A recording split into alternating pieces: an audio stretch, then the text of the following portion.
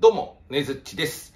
えー、男子体操のね、えー、白井健三選手が現役引退を発表というね、ニュースがありましたけどね、えー、また24歳なんですね。ちょっと早いなっていう気もしますけど、えただまあ、怪我なんかもね、ありまして、え白井選手自体はね、え選手としての未練はないということですから、えやりきったんだろうなっていう感じがしますね。えそれにしてもね、すごい選手でしたよね。え数々の日本記録を、記録をね、こう塗り替えてって、えー、白井選手が残したものっていうのは本当今でもね、えダイヤモンドの輝きを放ってるなと思いますね。え、ダイヤだけにね、素晴らしい功績ですよね。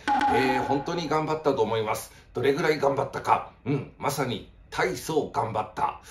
これはちょっといまいちかね。うん、白井選手の話してんだからね、もうちょっとひねりが欲しかった。ねずっちです。えー、白井さんお疲れ様でした。